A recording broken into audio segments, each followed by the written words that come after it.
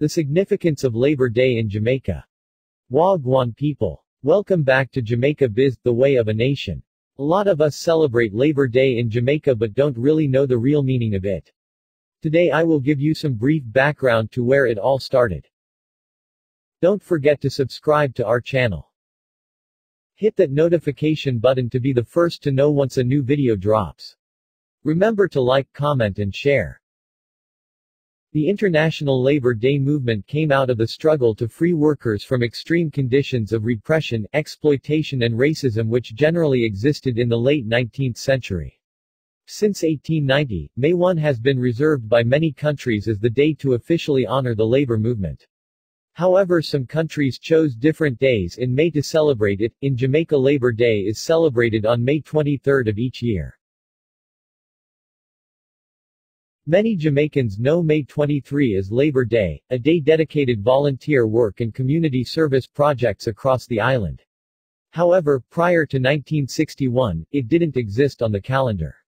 Instead, Jamaicans, along with other citizens of the Commonwealth, observed May 24 as Empire Day, the birthday of Queen Victoria, who was credited with granting slaves their freedom. As part of these celebrations, Jamaicans were required to participate in flag-raising ceremonies and sing British patriotic songs.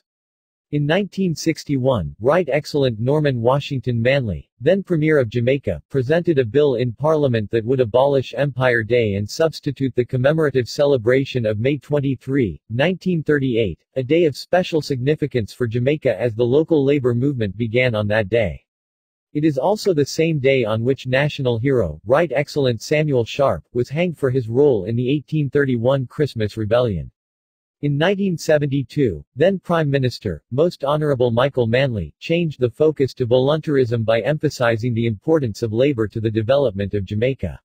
Heeding the Prime Minister's call, 600 projects were identified across the island, with the government embarking on a beautification effort along the Palisadoes Road. A national theme for Labor Day projects was first instituted in 1989. However, citizens are not strictly bound by the theme.